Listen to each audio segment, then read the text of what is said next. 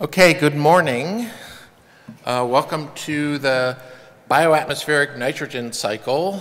Um, our conveners are myself, Meredith Hastings, uh, Rebecca Ryals, and Maya Almaraz could not make it, but they were instrumental in uh, putting this together. And it's our Sweet 16 for this session. We've been doing it for 16 years, so hearty mazel tov, and we can get a uh, we can get our learner's permit now. so why do we do this session?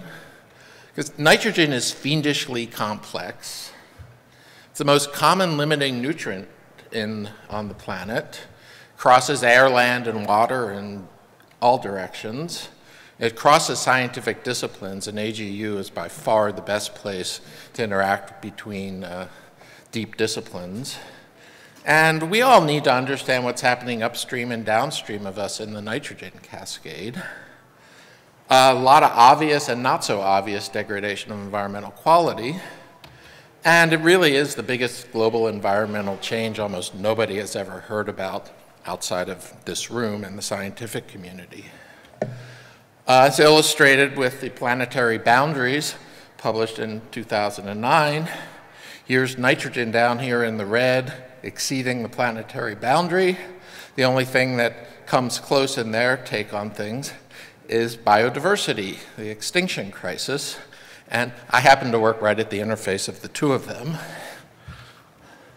So a little bit about the session. Uh, Sue Trumbore, who's a biogeoscience section president, uh, said the best thing you can do for AGU and participate is to organize a session and invite your friends. AGU makes it really easy to do that. Uh, it's great organizational. Put in your session proposal and it's a vote of the people. And we've been really successful. So we've had close to 600 talks and posters since 2003 in this session. Um, I always like to decrease the carbon to nitrogen ratio of AGU because that always leads to higher quality. uh, we put in for the Centennial Challenge and we're on AGU on demand. So uh, you'll actually be able to see these talks again. Uh, this year we got 50 plus abstracts. We have three oral sessions here for the rest of the day, so you don't have to go anywhere. And then our posters are on Tuesday, and that's going to give us the chance to hit stage four nitrogen saturation, as I call it, by tomorrow morning. So now I'm going to launch into my talk about looking at groundwater nitrogen, nitrate, in the serpentine grassland ecosystem. So it starts with the butterfly. The bay checkerspot butterfly is listed as threatened under the Endangered Species Act. Lives on this really just gorgeous flower-filled habitat uh, grow on serpentine rock, very nutrient-poor soils, and the flower diversity includes the host plants and nectar sources for the butterfly. Uh, I've been working out there a really long time. This is my field crew, uh, hard at work above Silicon Valley, counting flowers in the spring. Uh, we noticed a long time ago, back in the 1980s, that when the traditional land use down here, which is rangeland, when the cattle were pulled, Suddenly, there was this incredible growth of non-native annual grasses, especially Italian ryegrass. So uh, we knew what was going on, at least in an empirical, so cows eat grass. They maintain the biodiversity, and we have happy California cows and happy wildflowers here. The driver of this is the atmospheric nitrogen deposition blowing in from Silicon Valley and beyond. We're at the south end, and the prevailing winds tend to be from the northwest. Uh, and it's, uh, it's an ongoing problem. So in 2002, this is a site on Tulare Hill, our most highly, uh, most polluted site, actually. Um, and then a few years later, after the cows were pulled because of a dispute between a couple of adjacent landowners, that's what it looked like. So we lost the biodiversity, and we have thatch and annual grass. So this all led to the de uh, development of a habitat conservation plan. Santa Clara Valley Habitat Agency uh, administers the Valley Habitat Plan, which is a habitat conservation plan and a natural communities conservation plan. The ultimate goal is to acquire and manage about 46,000 acres for 19 covered species. More than half of them are serpentine related, and serpentine takes up about 25% of the acreage. Total cost over 50 years, $665 million. That's $13 million a year. Um, this is Silicon Valley, so that's really rounding error in the Silicon Valley economy, but it's a lot of money for conservation. Plan was adopted in 2013, and there's a novel nitrogen deposition fee that was based on new daily car trips and comes out to a little less than $45 per new single family residence, and it's one time, uh, generate about $10 million over the plan. So we, we want to understand the long-term trends of nitrogen deposition. So the idea of monitoring spring water nitrate uh, came up. We know nitrate leaching is a really strong indicator of nitrogen saturation. We want to know how much is in the spring and stream waters and how does it vary in space and time. Is there a correlation with deposition gradients? What fraction is unprocessed atmospheric nitrate that's just flushing right through the system? Uh, what's the future trajectory of nitrogen deposition? And can spring water nitrate be used for long-term monitoring? So we went out in 2015 and 2016, started sampling springs. Uh, We've sampled many more than are on this map now. Um, there's literally like probably over 100 springs in this area. Uh, Serpentine is really a, a spring-rich uh, geologic formation. Uh, example of one of our springs, we have this, there's a cave, we call it a cave in this uh, grove of trees here. Uh, somebody had dug out a cave as a water supply. Uh, so we get a uh, my field crew actually went swimming in it this summer on a really hot day, and they said it was really nice. Uh, a lot of watering troughs. These are good places to sample because we're getting the groundwater directly out of the spring boxes. Uh, then we also have surface water, like the headwater seep, or a little further downstream along the stream. So we have a variety of different sites. Uh, our first round of sampling was pretty revealing. Uh, we have some sites that are at half the drinking water standard. And this is just coming off a rangeland. Um, and then, you know, wide variety of uh, nitrate concentrations. Uh, um, can't go too much into detail on it. And some sites have a lot, some sites have less. And there are reasons for it that we've been able to untangle. And uh, thanks to collaborating with Meredith here, we were able to run the uh, CAP Delta 17O and estimate that between 50 and 65 percent of the nitrate that's showing up in the spring water, spring water is unprocessed atmospheric nitrate that is just flushing right through the system. Um, and it's related to the uh, overall concentration. We also see a lot of temporal variability. We've sampled uh, over the course of the past three years, high levels in the dry seasons, end of the dry seasons, levels go down in the winters, a dilution effect we think, and comes back up during the dry season.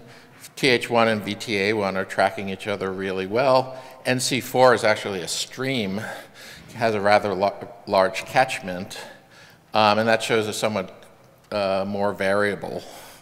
So, uh, this is uh, after a very, very wet month. This is an old mine pit that filled up with water, so there's a lot of water in the groundwater system, and we know exactly where the water table is here at this point. And uh, we found there was no atmospheric nitrate in this. It had been flushed out. And we also decided we needed to avoid sampling in the rainy season because it was just simply too variable. So let's look a little bit at the deposition environment here. Uh, the brown cloud.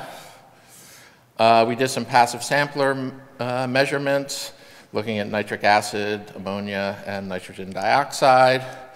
Uh, about between 30 and 50 percent in these South Bay sites is coming in the form of nitric acid vapor.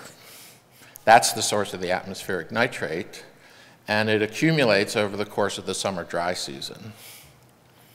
Uh, the TDEP project product from the EPA is just fantastic for looking at composition and trends. Uh, it's kind of spatially coarse, but we're down in this area, so you can see it's showing a really strong gradient from the middle of San Jose down into the more rural areas.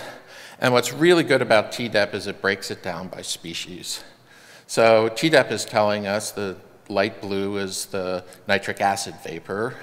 The dark brown is the ammonia. There's a lot of ammonia in Silicon Valley uh, coming from vehicles.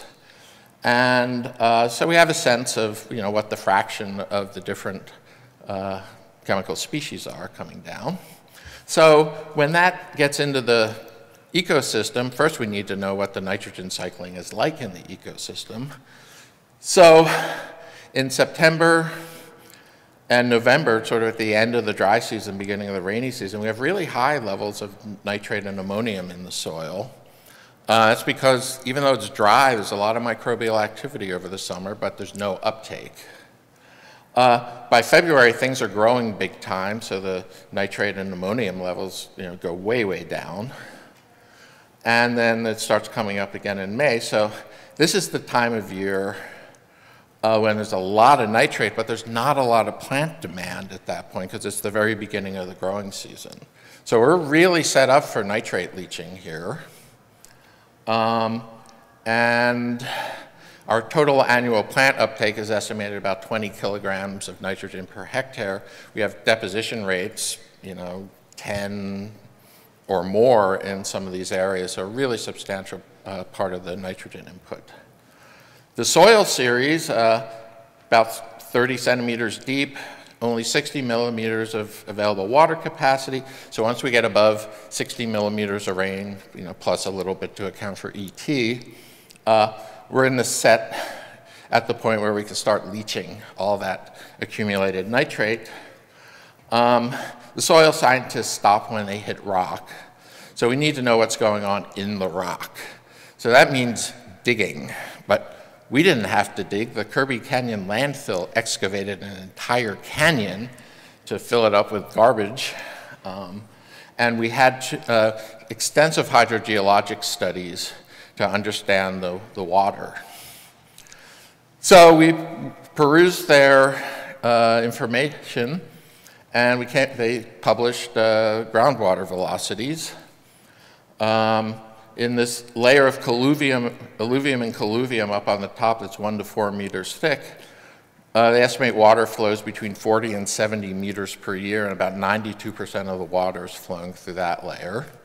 We have this layer of weathered serpentinite, where much tighter, about one meter per year, and about 8% of the water is flowing through that.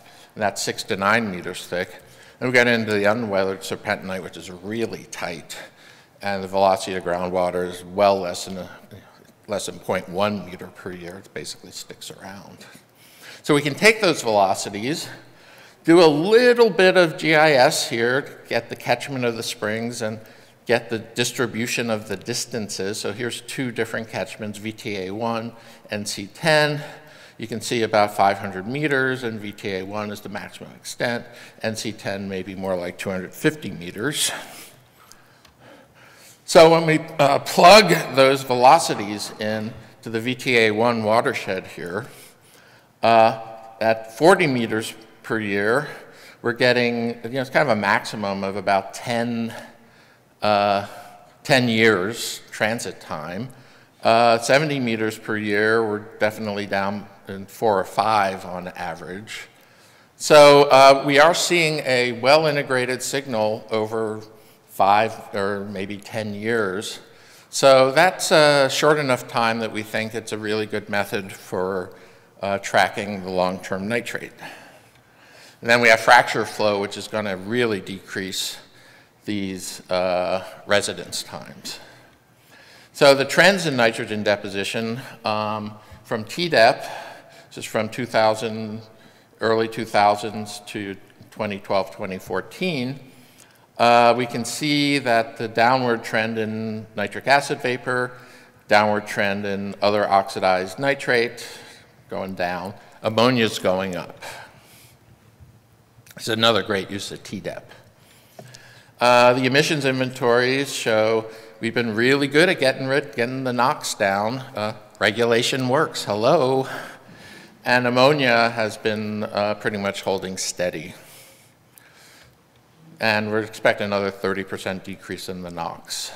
So in summary, I'd like to, uh, the serpentine grassland is totally nitrogen saturated. The nitrate levels in the summer base flow from the springs are higher than any other non-ag system I've been able to find. If anybody knows of one more, please let me know. Uh, it does track spatial nitrogen deposition gradients. 50 to 60% of the summer base flow is estimated to be unprocessed atmospheric nitrate that's just flushing right through the system. The leaching potential, because of the seasonality and the biogeochemistry, is very high in the early season and that's when the atmospheric nitrate is to, there to be leached. Mean groundwater residence times are less than 10 years and probably much less than that. So, and we have declining NOx and increasing NH3 trends. So we feel like we do have a good, uh, simple method for tracking long-term nitrogen deposition and protecting this gorgeous ecosystem. If anybody's in California in the spring, look me up, I'll take you out there. And I'd like to thank uh, funders and supporters of this work over the decades. And I'd like to thank the Bay Checkerspot Butterfly in particular for leading me into this.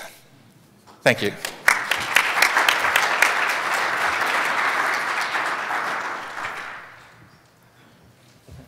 So our next speaker is Sami Ullah talking about fine-tuning in situ measurements of denitrification and biological nitrogen fixation.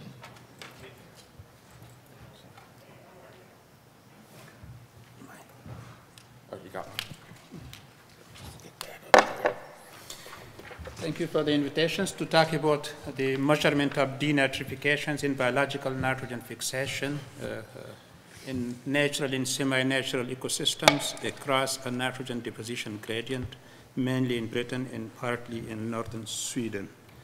Uh, so denitrification, uh, biological nitrogen fixation is a nitrogen input process that reduces reactive nitrogen, uh, non-reactive nitrogen to bioavailable form, and it's an energy-intensive process requiring 16 ATPs. Denitrification is mainly the, the output process in converting uh, nitrate into nitrogen gas, including nitrous oxide among uh, uh, other gases. So these has been the natural sources uh, of nitrogen coming in and then going out of the ecosystems.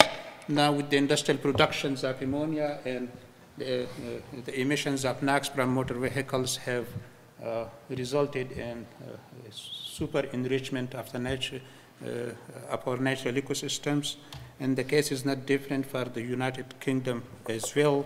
Our nitrogen deposition gradient uh, uh, ranges somewhere from background in northern uh, Scotland to up to 60 kilograms of nitrogen per hectare per year. There are now some decreasing trends for the nitrogen depositions in UK, but that's still uh, high in many places up the critical thresholds for ecological uh, resilience in terms of 6 to 10 kilograms of nitrogen being deposited. And this is critical because in England, in Wales alone, we have land use types which are natural or semi-natural. Peat, moorlands, forests, and grasslands that constitute 50 to 80 percent. And so it raises the question, is denitrification capable of removing this deposited nitrogen? Uh, looking in the context of the budgets of these ecosystems, what would be the implications for nitrous oxide? And what happens to biological nitrogen fixation being an uh, intensive, uh, in energy intensive process. For biological nitrogen fixation, we uh, looked at the gradient of nitrogen depositions from Degerö in Sweden, which is the northern limits within uh, these PT uh, systems with background atmospheric deposition of 2 to uh, higher depositions within the UK in selected sites.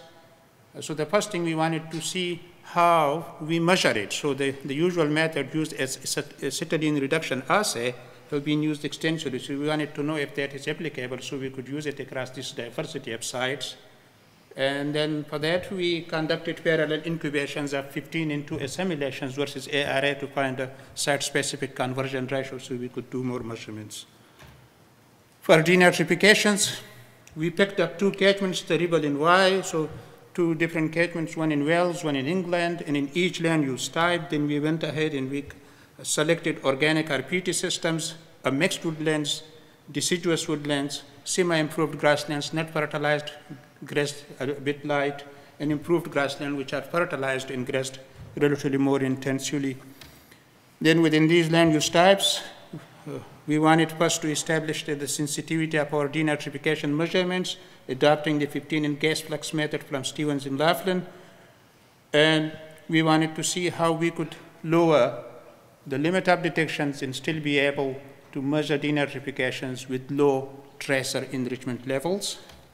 And for that, we injected highly labeled enriched nitrate into soils at low application rates, 0.3 to 0.5 kilograms of nitrogen per hectare. But the amount delivered was adjusted not to increase the soil moisture content by more than 5%. And this way, then we established 40 plots within those two catchments and did uh, monthly measurements of denitrifications for 17 months. And after the injections, we enclosed the chambers, and then we collected gas samples at various time points. The samples were injected to IRMS, 4 microliters for dinitrogen gas and uh, 4 ml for nitrous oxide. The N2 had a custom-built preparatory uh, system that enabled the, uh, uh the removal of NO, CO, CO2 in water. Also, because during higher temperatures, endogenous or more NO is produced, we wanted to reduce or fully remove that amount to, uh, to avoid interference with R30, the ratio 30 uh, for dinitrogen gas.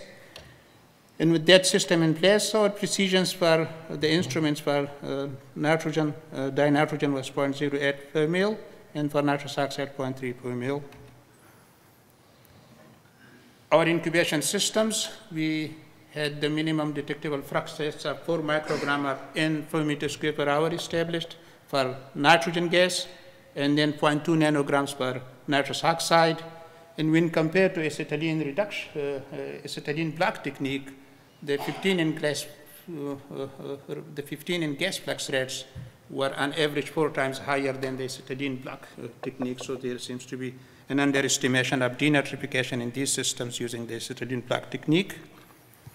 Once we established this uh, uh, sensitivity of our systems, then we did the field measurements and our injections of the tracer mimicked daily NR depositions, reactive nitrogen depositions in feed in forests and fertilizations in grasslands. The in situ denitrifications across these land use types from peat and organic soils are there to improved and fertilized systems. The total rates across these uh, uh land use types ranges from 8 in peat systems to about 13 to 25 kilograms in, uh, in grass uh, land systems. And in terms of how much this process removes relative to into the, in our depositions, these forest in peat systems are only able to remove 50% of what's being deposited, so that's uh, increasing the likelihood of uh, chronic nitrogen saturation of these systems. The contribution of denitrification we measured here, so the total N2O emissions versus the DN2O, which is the nitrous oxide, the denitrification N2O contributions to the total is here. That varied across the land use types. Uh, uh, denitrifications are versus other processes, main denitrification, but we only were able with our tracer systems to, uh, uh to segregate the denitrification component in that varied uh, across. Uh, the contributions varied from 8 to 60 percent, and more enrichment of these systems with nitrogen uh, reflects are reflected in more N2O emissions. Soil moisture seems to have mainly regulated the, the balance between denitrification sources versus other sources across these land use types. It's by no means a comprehensive comparisons, but it's just model rates of denitrifications across the globe. The scale is big. It's per kilometer square of nitrogen being removed. But within the UK context, what's being modeled at this larger scale is between 15 to 195 kilograms per hectare. I just put it for comparison purposes, but the scales are different. We are just less than a, a few, uh, less than a meter uh, square plots uh, situations. But our rates compared to what at this large scale uh, uh, are being shown are quite different. So there seems to be a big potential for bringing together more measurements to enable, uh, to, to enable uh, and constrain the modeling of uh, nitrogen budgets. When I compared it to this uh, natural abundance 15N fractionations with Edith Bai's publication, so for the United Kingdom, the rates reported in this study, and I got from through personal communications from Edith, the mean rates are lower than what we measured here, but the maximum denitrification rates measured by Edith somehow get closer to our estimations. Anyway, these are the two pictures. We are somewhere there, but there is need for more measurements and tweaking around to enable a more accurate assessment of denitrification within these land use types. Now I switch to biological nitrogen fixation. So the first thing we wanted to, to compare the uh, acetylene reduction assay with the 15N conversion ratios. The table is a bit boring in so much, but mm. Lab incubations versus field incubations, and then over time 2016 or 2017 are uh, in the three different sites, the Welsh, the English, and the Scottish sites for different sphagnum moss species. These are the median ratios. Overall, the ratios were not consistent by species, by site, or over time. uh, much lower than the theoretical ratios of 3 to 1. And so we think that ARA is not suitable for BNF measurements in PT systems, uh, at least the sites we looked at. This inconsistency in the ratios is probably reflected with the differential or partial suppressions of 15N assimilations when we had the incubations with, uh, without, or with acetylene. So you could see when we add acetylene, it suppresses it, but not completely. In some cases, the suppression is quite high, being this is a log scale, but in some cases, it's not. So differential suppressions of 15N assimilations in the presence of acetylene probably is the reasons for some of the variability of uh, the ratios uh, in nitrogen fixation. Now, from England, with the highest N depositions to Sweden with the lowest N depositions, so we see a range of, uh, uh, these are the median values represented by the box plots, highly variable, but we see as the deposition decreases, uh, fixation seems to, to enhance it. So there seems to be uh, a, a bit of a suppression of biological nitrogen fixations, but not a complete shutdown. And when we plot, sorry, when we plotted it, uh, uh, the median concentrations of fixations versus the nitrogen deposition gradients across our sites, we see a progressive suppression, but not complete uh, uh, uh shutdown of the process. And some of my modeling colleagues in the UK who did the, the, the, catchment scale measurements of um, catchment scale budgeting of nitrogen assumed no contributions of BNF in those systems, assuming that there is excessive nitrogen depositions. But it still goes on, and I think uh, it might be suppressed when we lose the species in response to N deposition. But as long as the sphagnum moss is there, and maybe methanotrophy, which are responsible for about 40% of the, uh, 40 to 60% of N fixation, as long as the methanotrophs provide that energy, BNF would go on. So it's rather indirect when we lose the species, through shading from sphagnum mosses to shrubby vegetations, we may see the suppression indirectly, but directly as long as the mosses are there, we don't see any evidence of a complete shutdown of the process. So the key points, uh, acetylene block techniques for denitrifications and ARF or BNF underestimates these in situ processes under field conditions. Denitrifications in the PT and forest systems removes up to 50% of the annual nitrogen depositions within these catchments, so risk of chronic nitrogen saturation. And BNF is suppressed but not completely shut down under NR depositions in these catchment systems. We believe and think that further fine-tuning of the 15N gas flux method uh, uh, and more measurements, spatiotemporally extensions, are necessary to further refine uh, uh, the dynamics of uh, the annual rates to enable the a close marriage between the modeling and the measurement communities. And with this, I would like to thank uh, uh, the farming community, specifically who allowed us to, to access uh, those catchments for our research work and our funding agencies across Britain and the National Trust as well as a key player in providing us access to catchment types. Thank you.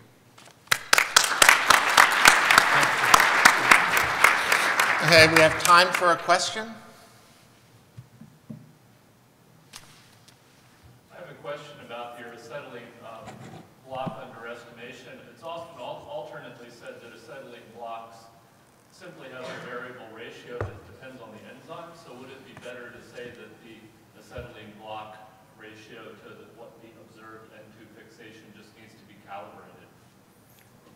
I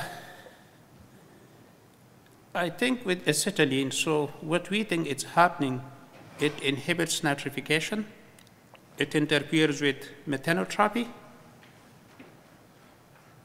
and it inhibits the reduction of N2O. So methanotrophy and N2O might be the sources of energy. So if those are suppressed, then depending on the amount of methanotrophs within the samples might lead to a variability within the uh, incubation system. So uh, unless we have extracted fine enzymes, then probably that theoretical uh, ratios could be achieved, but under fuel conditions, with the diversity of the species, uh, uh, microbial species that acetylene interferes with, it might be difficult under in situ conditions to, to constrain it. Thank you. That's it? Thank you. Thank you, thank you. I hope you'll be able to continue these types of discussions. Uh, Our next talk is by David Clow, and it looks like we're getting back into some hydrogeology here. He's going to look at linking water transit times to catchment sensitivity to deposition and acidity in the western U.S.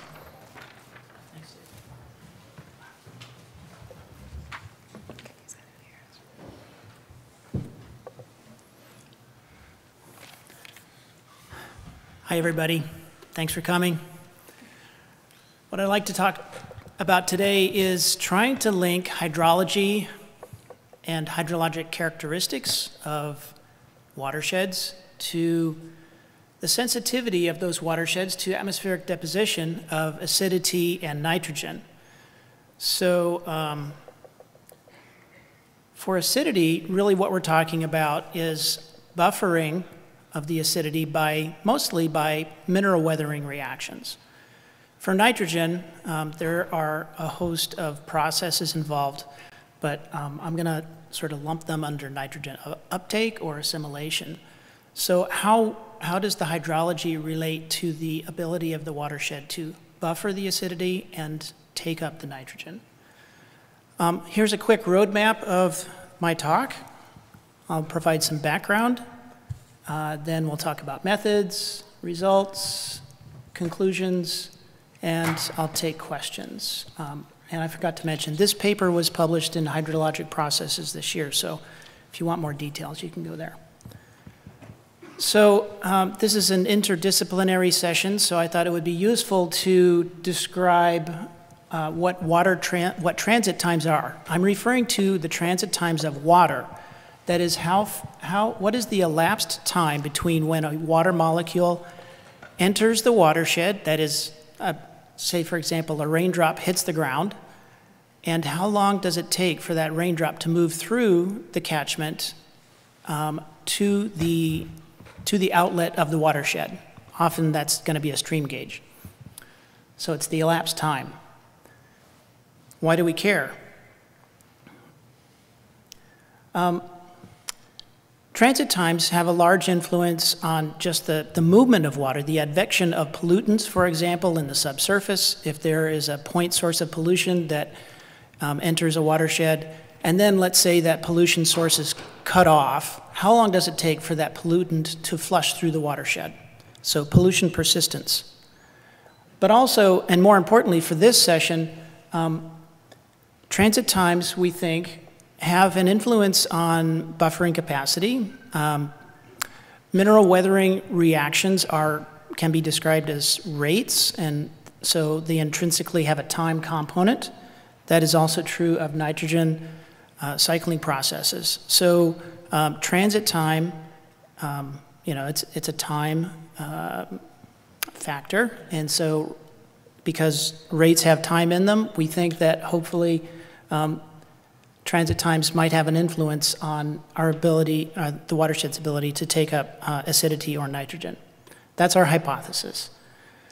How do transit times vary spatially? This is an important question because um, we think that, well, previous work has shown that alpine catchments especially are, are particularly sensitive to acidic deposition. Those watersheds, well, an example of those watersheds is shown in the uh, photograph, the upper photograph, that's the Marble Fork catchment in Sequoia National Park. The lower photograph is a, another catchment in our study, that is Sagehen Creek, which is also in the Sierra Nevada in California, but um, it's further north and it has a lot more forest and a lot more soil, um, not very much alpine. So some of the previous work um, looking at nitrogen concentrations in stream water uh, that have used a geostatistical analysis have shown that nitrate concentrations often are correlated with the amount of barren terrain, that is unvegetated terrain, so bedrock and talus in a watershed, um, so positive correlations with barren terrain, and negative correlations for nitrate versus percent forest um, in the watersheds. Our study involved 11 watersheds, which are shown on the map over on the uh, left-hand side. Um, and uh, those are all relatively pristine watersheds without water diversions. They're um, headwater catchments. Um, most of them are snowmelt-driven type systems. Okay, um, here's a little bit of hydrology for everyone. This is the flow, a flow duration curve. Um, we've got specific discharge on the y-axis, and exceedance probability, that is how often is discharge exceeded um, uh, for a given discharge. Um, and the important thing to note here is the shape of the curves. So when you have steep curves, for example, for the Marble Fork and the Merced River, um, we think, we hypothesize that those catchments would have short transit times. Whereas um, where, where the curves are more shallow, um, like for Sagehen Creek, um, there would be longer transit times. How do we actually quantify transit times? So the previous slide showed sort of a qualitative analysis. This is more quantitative. Um, we can use the seasonal variability in the O18 of precipitation and stream flow um, to calculate or quantify transit times. What we look at is the magnitude of the seasonal variability. So this, the graph in the upper right shows there's a lot of variability in the O18 of precipitation, and the, the graph in the lower part um, shows stream flow O18, and there's a much, well, um, the seasonal variability is damp, damped and lagged. And from the ratio, the amplitude ratio, we can calculate the transit time. Um, we can calculate a couple of different metrics. MTT, that's the mean transit time, which is something folks may have heard of. And then there's sort of a newer metric called the fraction of young water, which varies from zero to one, which describes the percentage of stream flow that is less than about three months old. Okay, so getting into some of the results, um, this graph shows mean transit time on the x-axis and then the young water fraction on the y-axis. You can see that the two metrics are inversely related. Mean transit times for our catchments ranged from, oh, about um, 90 days up to about six or seven years, but there's a lot of uncertainty. Young water fraction also varies quite a bit. Again, the Marble Fork and the Merced River have very short transit times. Those are the catchments shown in the photograph are exemplified by the photograph. Um, there's a lot of bare rock um, and not much vegetation or soil. Sagehen Creek and Andrews Creek in Washington have relatively long transit times. These are catchments exemplified by the, uh, the second photograph with the, the meadow and the forest. Um, so, um, and, and what, what do the uh, transit times look spatially? Here's a map showing transit times, actually the young water fraction, excuse me, for all of our different catchments. Um, and if you look at, let's see if I can get this. Okay, so there's the Merced River and uh, Marble Fork. They have relatively a large fraction of young water in, in the stream water, and then Hen is right here, and it has not so much young water. So The reason I, I asked the question, why, how does it vary spatially, is because we would like to be able to map the sensitivity of catchments to acid deposition or nitrogen deposition. Um, in order to do that, we can do a geostatistical analysis um, on our watersheds and develop predictive models. They rely on relationships between basin characteristics and um, whatever it is we're trying to predict. So here we've got um, fraction of young water and mean transit time on the y-axis, and then a few different basin characteristics on the x-axis. We've got barren, percent barren uh, in the watershed, percent forest soil, and then also the basin, average basin slope. And you can see if we just focus on mean transit time, since that's sort of maybe easier to grasp, in the lower set of graphs, there's a, um, when you have a lot of barren terrain in the watershed, you tend to have short transit times. Same thing for slope. When you have steep slopes, you have short transit times. Conversely, when you have a lot of forest soil, that's this diagram here, when you have a lot of forest soil, your transit times tend to be relatively long.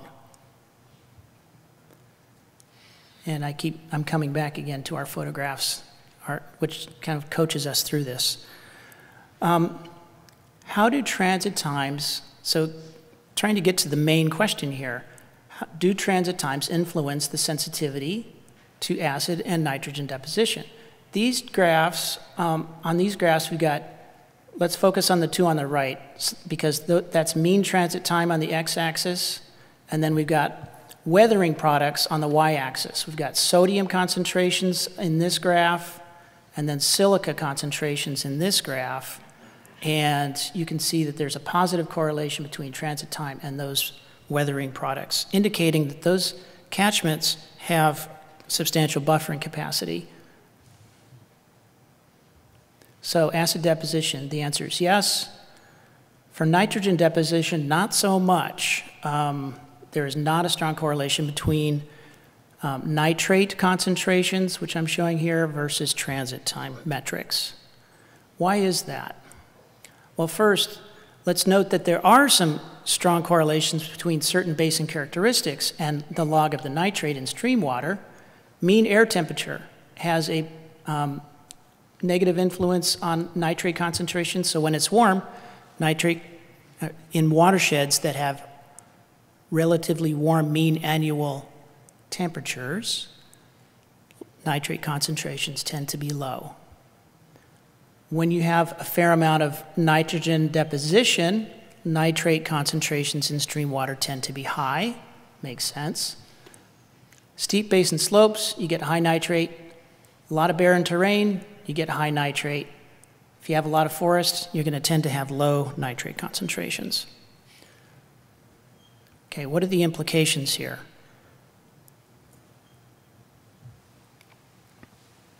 Transit times do influence acid buffering capacity. But other factors are more than other factors are more important than transit time for sensitivity to nitrogen deposition. Air temperature and vegetation, uh, soil and basin slope are all more important than transit time um, for basin sensitivity to nitrogen deposition. This, this was actually surprising to me, but maybe that's because I'm a geologist and I don't really, um, you know, you guys understand the vegetation stuff maybe a little bit better than I do. Why aren't transit times important for nitrogen? Remember, at least in my mind, biologic processes are rates. They're time dependent. I can I hypothesize that it's because transit times reflect, or at least transit times that we calculated using the method that we used reflect transport through deeper flow paths.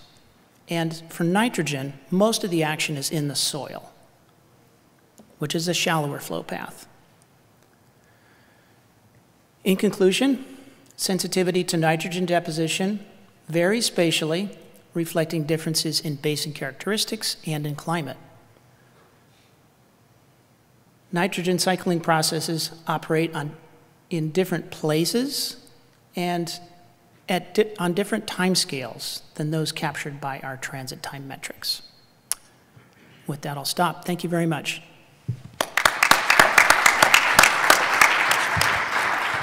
Okay, uh, time for a question?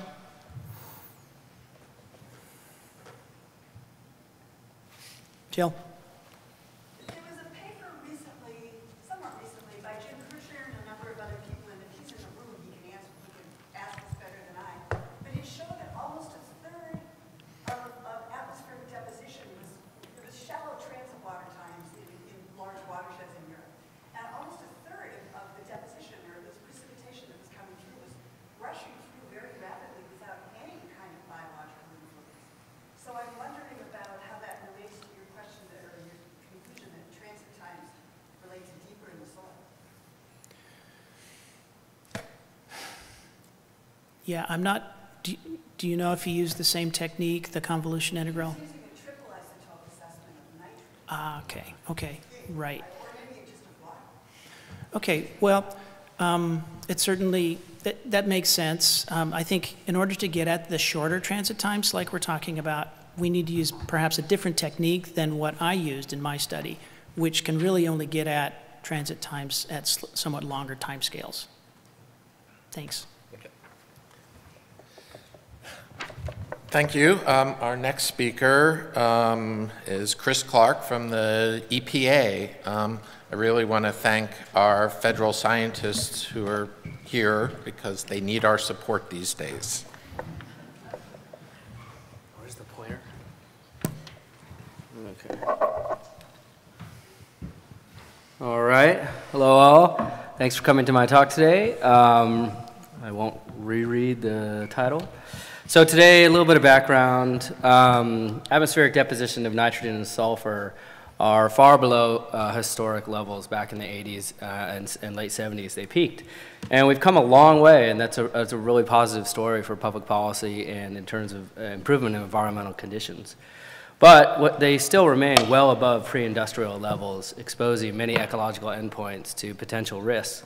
So what I'm showing here is just a map of the exceedances of the critical load for terrestrial acidification around the time of the peak in 1985 and more currently in 2015. And you can see there's a lot less red, there's a lot less deep red, but there's still quite a bit of area exposed to um, atmospheric deposition that's, that's too high.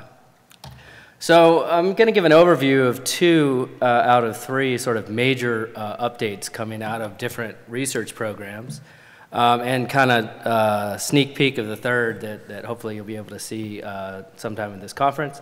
A national analysis, the first one of 94 tree species across the continental U.S., vulnerability to nitrogen and sulfur deposition. That was published a few months ago uh, by Kevin Horn and colleagues.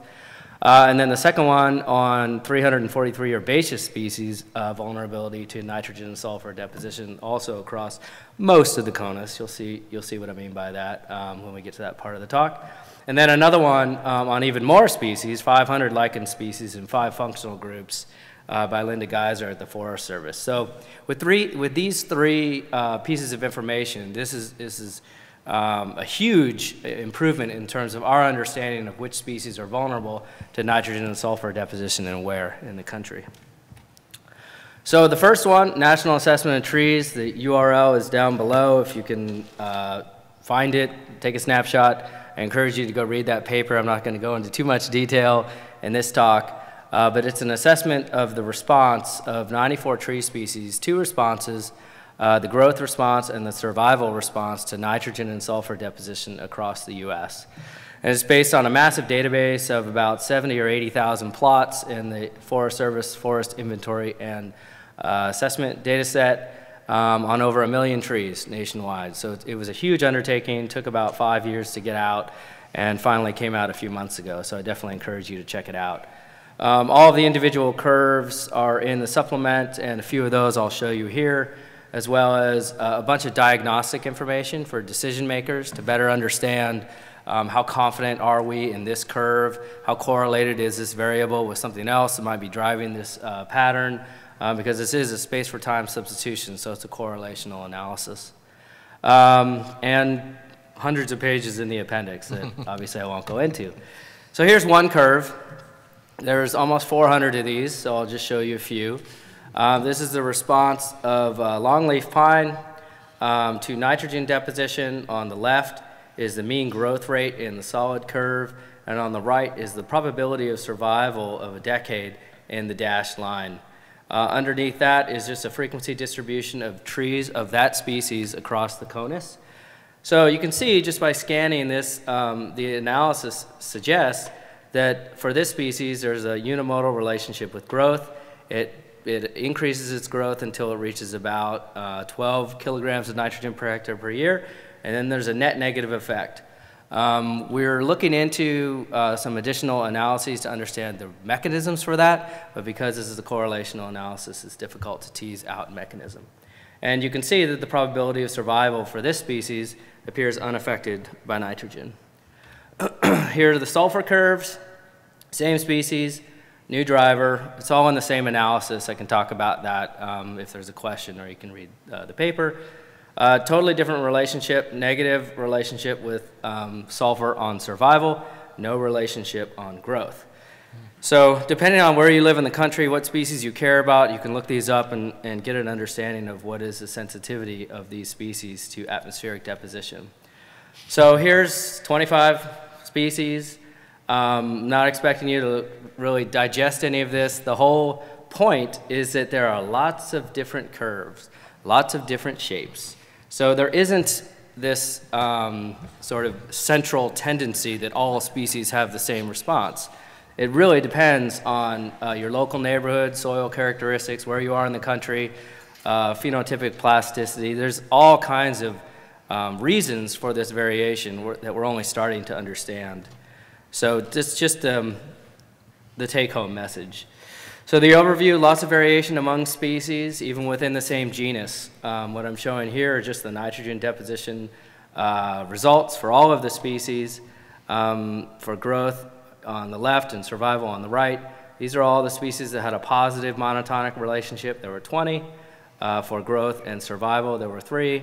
17 species had a unimodal relationship um, with growth and 25 with survival and two showed a monotonic decreasing relationship um, with growth, and six for survival. So, take home messages here more species increase than decrease with nitrogen deposition, but there's a lot of variation.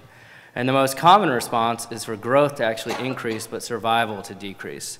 So, what this is suggesting is that our forests, in North America at least, are probably being thinned out a little bit more than they would be otherwise, uh, but you're getting larger and fewer trees. So what does it mean for forests as a whole and carbon in particular? So here's the carbon maps um, in the top from this study, and then a comparison of this study and an earlier one um, that I'll talk about really quickly. So you can see most of the areas are green. So on net, nitrogen deposition is having a positive effect on the amount of carbon in North American forests, but it's not true everywhere. Um, these are slopes of the relationship. So what this means is that an additional amount of nitrogen deposition is actually having a net uh, decreasing effect on forest carbon accumulation in the far northeast. Uh, comparing the 1980s and the 1990s, this is from Thomas et al. 2010 compared with this paper that just came out. And you can see that the temporal pattern uh, has shifted dramatically too. There does appear to be a negative effect of long-term uh, exposure to high levels of nitrogen deposition, such that 20 or 30 years ago, even though the rates were higher, they hadn't accumulated to a degree that have a net negative effect on the forest. And we're only seeing that today.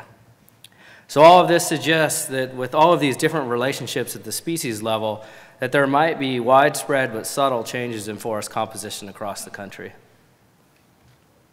So what about herbs? This is, this is what's near and dear to my heart and Stu. Um, we love the herbs, so got to bring the herbs in. So what are herbs? Well, herbs occupy uh, many different habitat types. They're just non-woody, pretty species. Um, they're found in grasslands, forests, understories, alpine areas, uh, most ecosystems.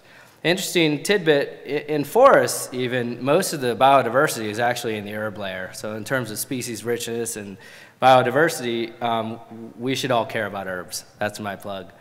Um, they're also really good canaries in the coal mine because like lichen, um, they're, they're responsive over policy relevant timescales. These are, these are timescales that you can go out and sample it five years later and actually see a result. It's, you can see it in the trees as well, but it's, it's just harder to sell to policymakers that you're having a 5% change in forest growth. So we were building on um, a study that came out uh, a couple years ago, um, published by Sam Simkin and a bunch of uh, colleagues, that looked at the sensitivity of herbaceous total richness in grasslands um, nationwide from 15,000 uh, plots. So total richness is, in case you don't know, that's just the total number of species in a location. So what we found is that there were lots of places where the total numbers of species were increasing and places that where they were decreasing. And that inflection point or critical load was, uh, could vary quite a bit, but was say roughly 8 to 12 kilograms of nitrogen per hectare per year. But inside of that signal, there are potentially lots of species that are increasing and decreasing everywhere that add up to that total effect. So this is our follow-on question is, well, okay, you know, so total richness actually declines above about 8 to 12 kilograms, but what happens at the individual species level? How many species? Is it just the same species that you're losing everywhere, or does it vary quite a bit across the landscape? So I won't, again, go into the analysis. This is under review right now, um, but we hope to uh, get it published in the next two or three months. Um, but uh, some, some statistical analysis that I can talk about after the talk if you're interested. Um, these are the spaghetti diagrams of the 243 species that we feel like we had really robust results for. And you can see, as with the trees, there's a lot of variation from species to species in terms of its um, sensitivity to nitrogen deposition. So what you see here is about 15% or 30 species that showed no benefit and just a net decrease with additional nitrogen deposition. These are probably poorer competitors, more native species. Uh, then over half, 54% or 107, showed some unimodal relationship. And the location of that peak could vary quite a bit from relatively low to moderate to high. And at the other end of that spectrum, uh, there were 20% of species or 40 that uh, didn't show any evidence of a decline over quite a wide range. So these are sort of our weedier species that generally win um, at higher levels of, of nitrogen deposition. And interestingly, if you average it over all of those species, the average critical load is sort of uh, reproduces what we find in the species richness paper, the first one. And in anecdotal papers back in the 90s and 80s, a lot of the ecologists were like, well, you know, we're not really sure how sensitive these ecosystems are, but it seems like at around 10, you get some negative effect. So if you look at these old papers, these um, earlier ecologists were really prescient in being able to predict sensitivity. So here are some of the sulfur curves. 57%, uh, 137 species showed a negative relationship, and 40 showed a benefit.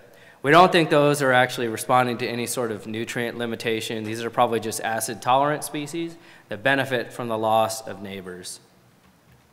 So the take home message uh, for the trees and herbs, about 70% of herb species and 73% of trees were negatively affected by nitrogen and or sulfur somewhere across the U.S. At most sites, more species benefited than are harmed by nitrogen deposition. This was pretty consistent in the trees and the herbs.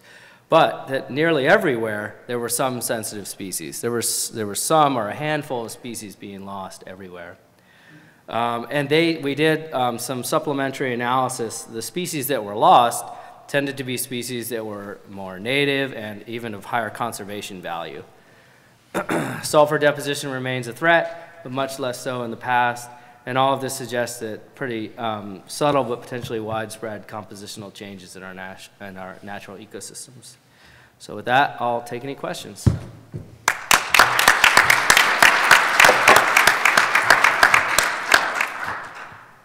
Yeah.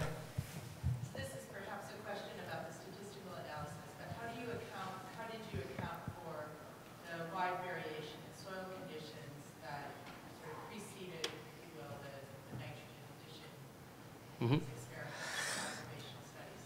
So it depends on the study. In the trees, it's uh, not accounted for. There are supplemental analyses that we want to add to add things like um, soil pH, uh, base saturation, to see if you know the nitrogen signal maybe disappears when you add some of these additional factors. Those types of predictors aren't available at the P2 or P1 scale for the FIA data set. So you have to go into the finer scale data, the P3, and that was uh, terminated in 2011. So a lot of those plots, we just don't have that information. But there are follow-on analyses that we're trying to do with that. With the herbs, uh, soil pH is included, and so the and the correlation between pH and all of the other factors is also included. And we have these uh, variance inflation factor, which sort of uh, gives you a diagnostic of how confident should you be in this nitrogen signal for all of the species. So it's difficult to account for specifically in a correlation analysis like this, but we've included it where we can. Yep. One more? Uh, I think that, I got nine seconds. yeah. Okay. Yeah, quick question, how might a shift towards uh, ammonia deposition um, impact your analysis? Uh, I think it, I mean, we don't know, but I think it'll probably make ecosystems a little bit more sensitive because it tends to be stickier in the system and potentially have a bigger effect per molecule of nitrogen. Yep. Okay, uh, thanks, Chris. Uh, Now we're going to go to New Zealand. Uh, Troy Baisden's going to talk about uh, nitrogen science and a nitrogen cap reduction in a New Zealand lake. Kia ora, which is the national greeting of New Zealand. Okay. Great. So again, I'm talking about a rather ponderous title, but as you can imagine, trying to get a capping scheme, which turns into, of course, a cap and trade scheme, is a ponderous problem. I'm going to acknowledge my co-authors first. Um, this talk, I'll explain a bit, little bit more about how this talk is set up. They've contributed to a five-year review, and I've pulled some pieces out of that review. Um, so Chris McBride in particular has looked at the longest term loads into the lake. James Dare has looked at trends uh, since two the year 2000, and Matt Allen actually contributed uh, a lot of work to something I'm not going to talk about for reasons that I'm going to explain. Um, I'm go also going to thank uh, my funders. I've recently picked up uh, the Bay of Plenty Regional Council Chair in Lake and Freshwater Scientists, which is quite a job for a soil scientist to pick up. And um, that's essentially what I'm doing, and the job here is to bring work in the catchment um, to the catchment scale and focus on agriculture and reductions in the landscape as well as what goes on in the water. Um, we have a National Lakes program, uh, which is contributing to this, and um, I also have a Tracers program, which is contributing to this work. I'd also just briefly like to acknowledge the Center of Research Excellence, Te Punaha Matatini, which means the meeting place of many faces. And um, that's essentially uh, New Zealand Center of Research Excellence on complexity, which is a good thing, uh, acknowledging St Stu's remark earlier about the complexity of the nitrogen cycle. So this is the catchment, and I'll, I'll, show more about that in a moment.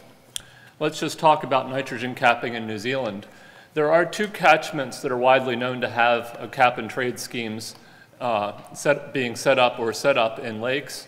I talked on the sort of the 12th anniversary of the session, I believe it was, about the five-year anniversary of primarily the Lake Taupo um, cap and trade scheme. I'm not going to talk too much more about that today. It's a 20% reduction um, relative to um, 2005 levels. In Rotorua, a cap went on that represents levels sort of in the 2001 to 2005 period. The reductions are under appeal. The goal is to maintain the lake's trophic state, and I'll just talk slightly more about what we mean by that in another few slides, um, at roughly where it was in the 1960s. And so what we're trying to do is reduce the nitrogen load by 2032 from 755 tons of nitrogen reaching the lake to 435 tons. Now, we've had a five-year science review process that's just uh, completed, and the, my talk's changed a little bit because the report from the five-year science review hasn't been tabled at uh, the regional government, the council yet. So I'm not going to talk too much about it ex except for the introductory material there. I'm not really hiding anything either. There's plenty to talk about. Um, what I'm going to focus on is I now pick up leadership of the science in this area. So what I want to talk about is where do we need to go in the next five years to actually meet these nutrient reduction targets? So we have a first reduction target at 2022, and then a further reduction target by 2032. Uh, and finally, just the, the map on the left, we have a lakes portal for New Zealand, um, which uh, you can find out more about at our website, lernz.co.nz. Um, lake Rotorua is a shallow um, polymictic lake, which means that it, uh, it's not so deep that it mixes multiple times during the year rather than just once. Um, you can see there is kind of a deep rift running through the middle of the lake, but the bathymetry on the left shows that most of the lake is shallower than 10 to 12 meters, and there's a large littoral zone around the edges of the lake. Um, we had rather bad algal blooms up until about 2010. Um, this shows one of them, and this is actually on our lakes portal, um, which runs as a web interface, and so you can actually breeze back and forth through images of satellite um, uh, estimated chlorophyll that Matt Allen actually put together, one of the authors on the talk.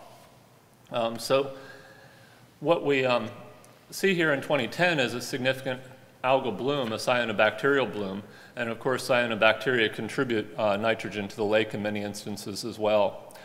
Now those blooms have actually been stopped by alum dosing the lake, and that's a significant effort because this is a 10 kilometer length lake, 80 kilometers squared. Um, and so it's not very much alum, and, and doesn't really reach levels of aluminum, toxi aluminum toxicity, but it is a, um, a significant effort, and it's the largest effort at this scale. It works remarkably well in this lake, um, not so well in some other lakes. So that this, these are some images from a recent photo contest run by the district council, which give a good image of what we have going on there. You have a lovely landscape and a lake that has fairly good quality most of the time. Um, it's a tourist mecca for New Zealand, and that's one of the reasons we're so interested in looking after it. And it's also the heart of Maori culture.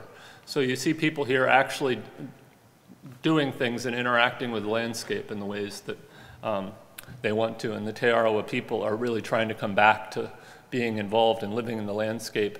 And the treaty settlements that have come out of um, legislation in New Zealand actually give the, the lake bed back to the native people, the Te Arawa. So this is the overall catchment of the Rotorua Te Arawa lakes. Um, there are about 12 lakes um, within the Bay of Plenty region. Um, and uh, so you can see there's quite a bit more there than Lake Rotorua. I won't talk too much about um, the additional lakes today, except to say that Lake Rotorua does flow out through Lake Rotoiti and then through the river, which is shown at the top of the screen. Um, and so the, the water quality in Lake Rotorua also affects those other areas. And they actually had built a wall prior to 2010 to keep the bad water from Lake Rotorua from making Lake Rotoiti worse. That seems to no longer be needed, so we won't talk about it further. Um, you can see there the main land uses are forest and pasture, and you can also see a, get a sense of the urban zone. If we look at a land use map, I've uh, sort of colored this in a sense as a land use spectrum. And so the bright things are the things that you should possibly worry about. Uh, primarily dairy farming and sheep and beef farming are the areas of New Zealand where we have a lot of nitrogen going into the landscape. Now that mainly occurs through clover fixing nitrogen, um, but there is urea also added, particularly under dairy farming. Uh, production forestry is the, the uh, darker green, and then we move into scrub and native forests in uh, additional colors there. And the bright white is the urban part of the landscape. We also have geothermal areas within the catchment, including within the urban area itself, which adds to excitement. A recent geothermal congress that was held there commented that it was a bit like having a city inside of Yellowstone. This gives a sense of the physiography in the different subcatchments. And one of the first things that you might see is that the uh, density of the stream network is quite variable across um, the catchment, and in the northwest and northern corners, there's relatively few streams. And that turns out to be sort of interesting and important because there's been a major focus on groundwater as something that needs to be understood in terms of how nitrogen flows into the lake and when nitrogen flows into the lake. I'm going to focus on the uppermost catchment there, the, the Hamurana catchment. And the surface water catchment isn't really much of a catchment, it's just an area that's demarcated in terms of flowing into the lake. You can see the springs there is a very small uh, spring. If we look at the groundwater catchment, so you can see that the groundwater catchment for the spring is believed to cover a much larger area. And you can think of this essentially as a tephra and ignimbrite layer having been deposited over a former landscape. Um, so perhaps that's what happened. It, it, certainly makes sense anyway. And it essentially has a groundwater catchment that then crosses two surface water catchments and is quite a bit bigger than you would expect. Uh, we'll talk a bit more about that. And the main point here is to understand the complexity of how we should think about groundwater or other complex factors when we try to design nitrogen capping schemes and try to make them work for people. The key issue here is when we think about the large amount of farming in the catchment, we need to understand how we can reduce uh, losses of nitrogen from farming by actually getting land managers to do something.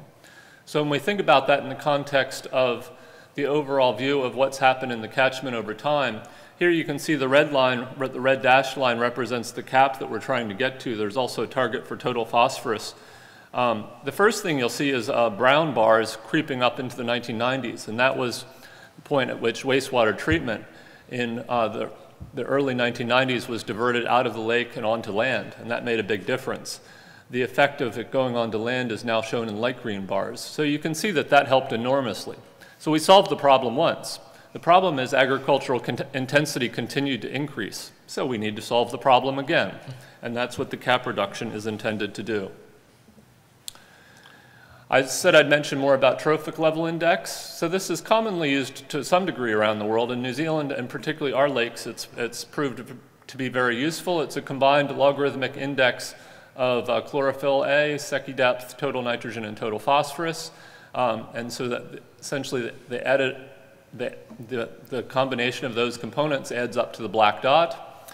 And you can see that it improved dramatically in 2010 um, and got back to close to the levels that we believe that it was at in the 1960s, if you can extrapolate a little further back from the uh, 1970s era. And so essentially the lake quality is now controlled by alum, but we don't want to continue doing that. We'd like to actually get this sorted out with land use um, and getting a permanent and uh, sensible uh, nitrogen and phosphorus scheme. Now lakes in the central North Island, I will say, are sort of considered nitrogen limited, but in reality, um, there is a dual limitation. Um, and the natural sort of health of the lake, in some ways, may be me measured by the retention of the lake, that is to say, what fraction of nitrogen or phosphorus is retained within the lake. Um, and you can see here the alum dosing has, to some degree, restored that retention index back towards where it was in the past. And it's a surprising, it's not surprising at all that it uh, achieved a high retention of phosphorus, but it's also quite interesting that it retained a high retention of nitrogen. One possible reason for that, of course, is a reduction in cyanobacterial N fixation. It would show up in the index. Now, moving along to the groundwater flows, um, this is a plot typically shown for uh, around New Zealand for how we need to worry about how much groundwater is going to influence policy in the future. And this is the type of information that went into it. Now, this paper um, raised a lot of concerns by freshwater ecologists about these, um, this area because of several factors. The main one was arguing that we actually shouldn't control phosphorus at all. Um, there was a major response to that I won't talk about that was published in the same journal later on. Um, the key issue here is the um, water dating information that leads to that sort of a plot that suggests that it's very hard to actually clean up old water and it's just going to keep flowing into the lake over time. Now, interestingly, this paper was a combination of a whole bunch of um, earlier reports. And they started out with a simple tritium data set that was broken up into a single um, mean residence time and exponential flow model. Then it was broken up into two of them because there was a longer tritium time series and that was what was required to fit it. And so you can see Hamurana Spring there and just keep a note that's broken up into two pieces with, a fair, with 185 and 12 year mean residence times and I'll talk just a bit more about that. Now if I just breeze through some water quality trends here, I mentioned I would do that, we can see nitrogen actually is not going up in the Hamurana area with that old groundwater. Interestingly though, phosphorus is, and that's particularly surprising because Morgenstern et al. noted that phosphorus was not elevated in young groundwater and is purely due to geological factors. So phosphorus was actually expected to be stable, yet it's the one that's increasing. And again, here's a different way of looking at the same thing, looking at loads, um, two different estimates. And if we just look at concentrations, including a much earlier data set, we see something similar. Picture gets slightly more complicated because it hasn't, um, you know, it's just a data cloud essentially. Um, but certainly we don't see that, ma that massive increase in recent years um, that you might expect to continue to see based on the water ages. So if we just do a thought experiment, let's end with that, about how we can reduce this complexity and look forward to the future. So I mentioned there were two, two um, distributions of water ages. So if we plot them, here they are. And you can see that actually there's quite a bit of young water. Now, if we just put that young water through a 55-year pulse and then look at what happens in time as that comes out, we see this. And it imp implies to me, so if that was, say, 1 ppm of nitrate into an area of, of 0 ppm of nitrate, it looks like we can start cleaning that up and we got to about 40% of the permanent level that we would have gotten to eventually. So in a sense, Morgenstern aren't wrong, but uh, there is some confusion there that we need to better understand. And what that means is that if we're entering a period where reductions are required and policy is set, land managers will need to understand what actions can be taken. Um, if those groundwater lag times are inconsistent or confusing, um, then we need to think carefully about the simplifications that are used and we can think about more dating tools, particularly the different ways of getting to a young fraction, like we saw two talks ago with water, water isotopes. Also testing whether we can use radiocarbon as an alternate tool. It may give us a slightly different answer in dissolved inorganic carbon. And uh, I'm a bit worried also that we have an exchangeable hydrogen problem with tritium dating, and if anybody's looked at that, I'd be quite interested to know because it's something we worry about quite a bit with stable isotopes. Thank you very much. Oh, good catch. Uh, thanks. It's uh, good to see the, the groundwater stuff coming through here. Um, so our next talk is by Rohit Mathur, uh, characterizing the long-term trends in atmospheric nitrogen deposition across the whole northern hemisphere.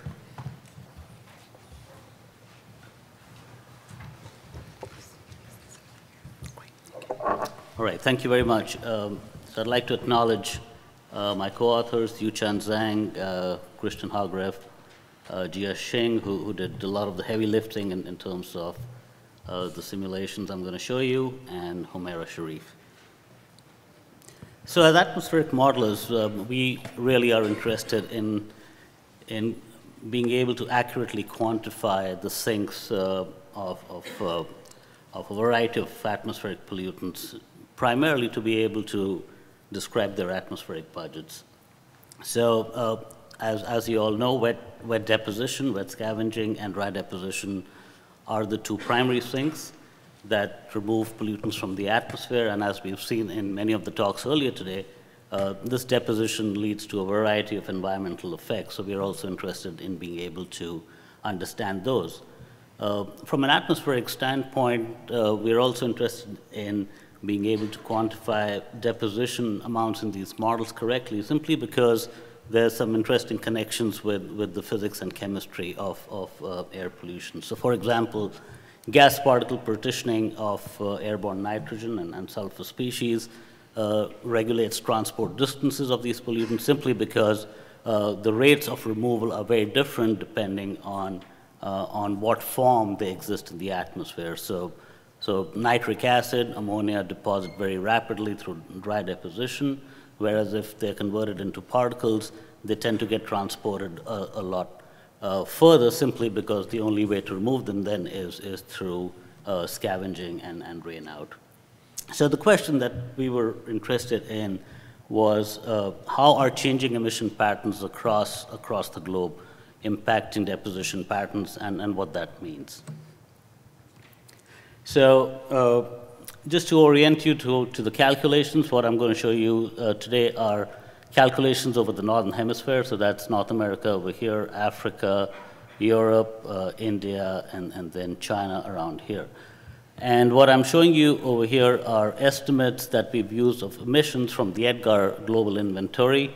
Um, I apologize for the quality of, of this plot, but what is shown on the top is, is NOx and bottom ammonia. And what you see is that contrasting changes in, in uh, emissions have occurred across the Northern Hemisphere, primarily resulting from the implementation of policies in, in North America and Europe, which have reduced emissions of NOx quite significantly over this 21-year time period.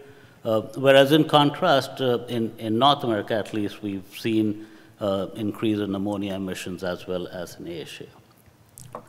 I'll show you some results also from uh, calculations over uh, a nested domain over North America, where we've used finer resolution and a slightly uh, more uh, updated version of, of these emission inventories and their trends.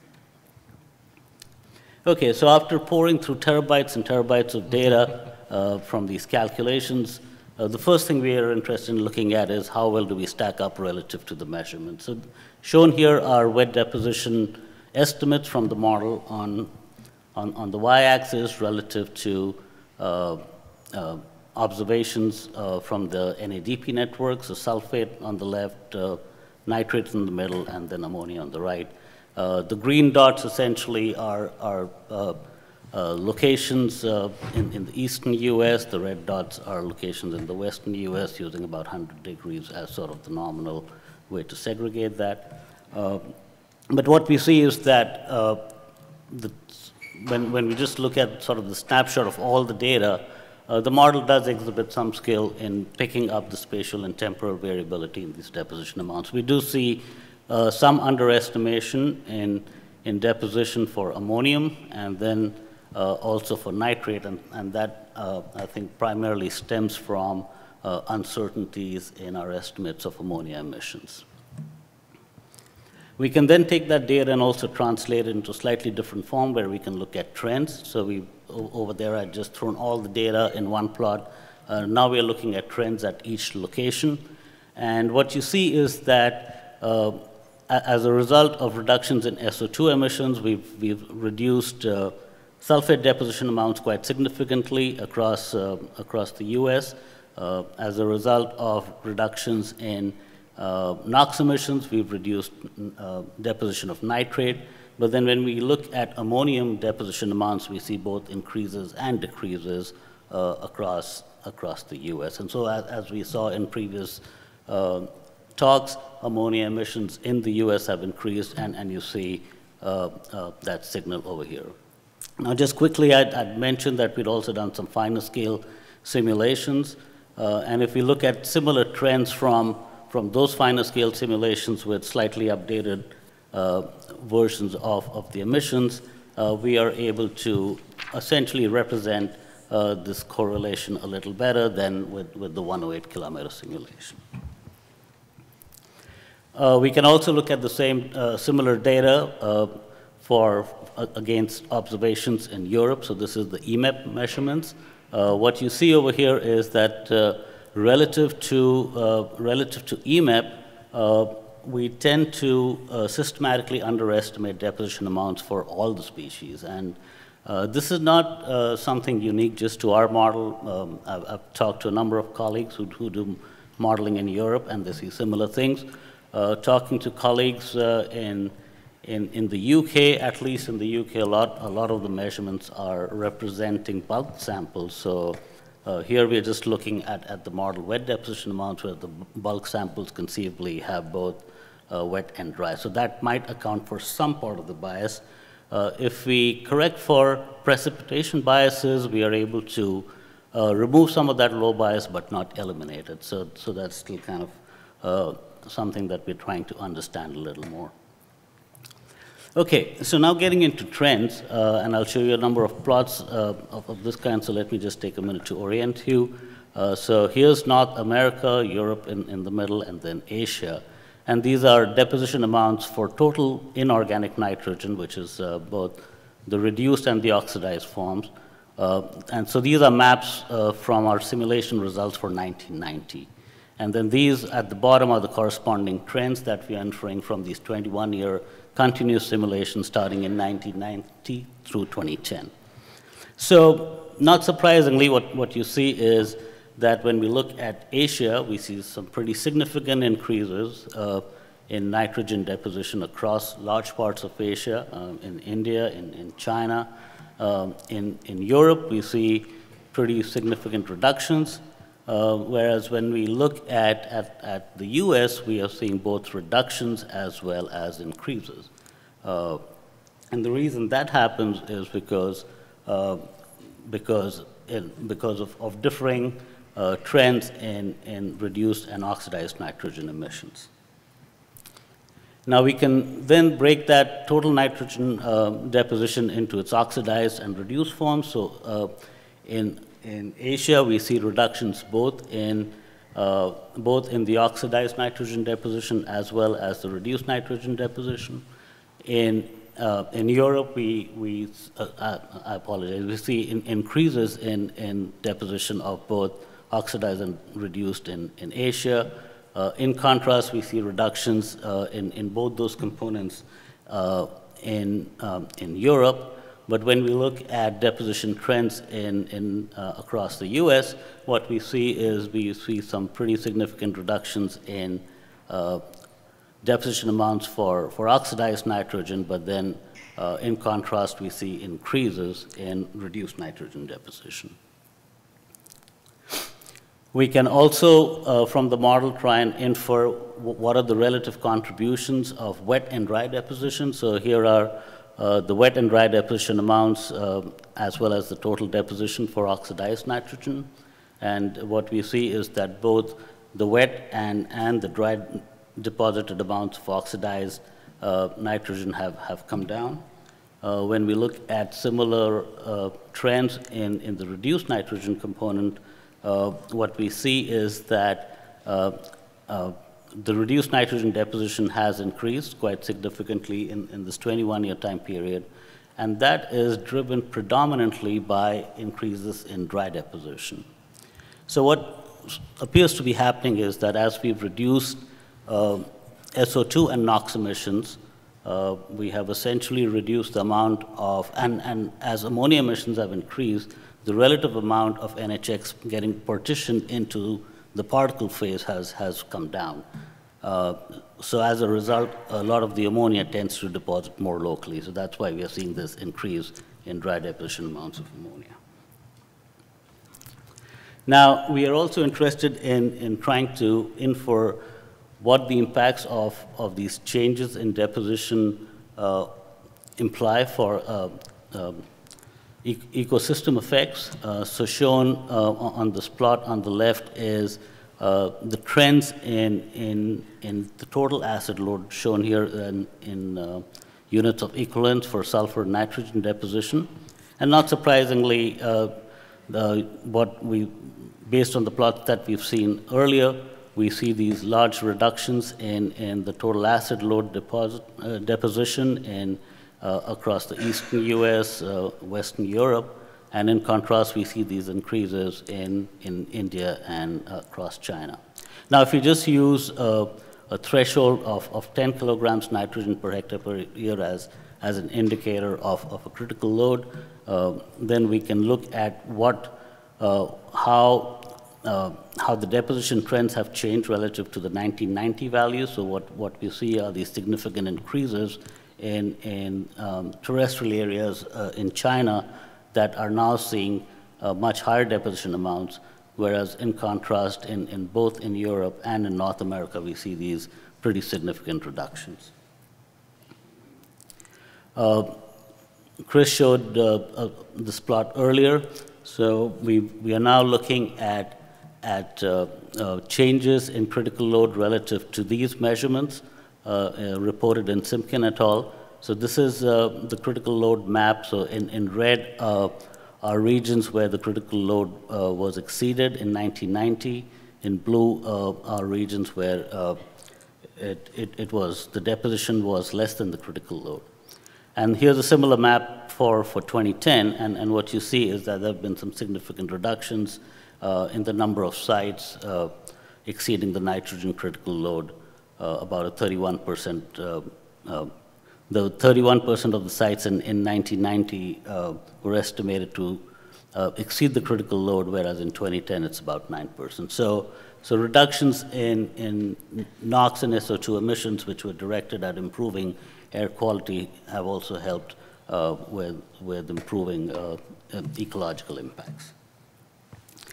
And finally, uh, some very preliminary results where we've, we've tried to look at is there an association between uh, these changes in nitrogen deposition uh, and, uh, and, and chlorophyll in, in, in, uh, in the open ocean. So, so we are using the chlorophyll uh, data from the MODIS Aqua, and what I'm showing here is over, over this 2003 to 2010 period for different regions, so, so the Indian Ocean, the outflow from, from China, outflow from North America, and then the North Atlantic region, where we are, we've tried to correlate uh, the anomaly in, in nitrogen deposition with the anomaly in ocean chlorophyll.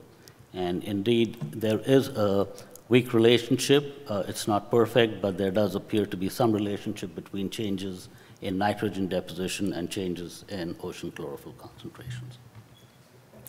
So I am out of time. Uh, I'll leave that summary up, and uh, if there's time, I'd be happy to answer questions. Yeah, I think we have time for a quick question.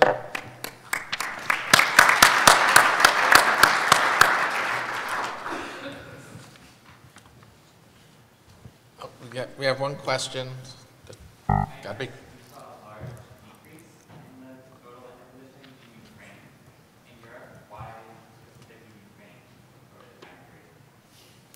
I'm not sure I fully uh, heard your question. So you had large reductions in Europe.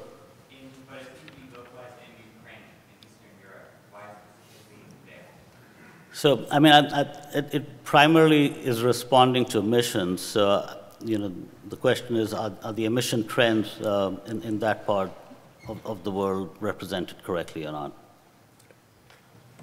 Okay.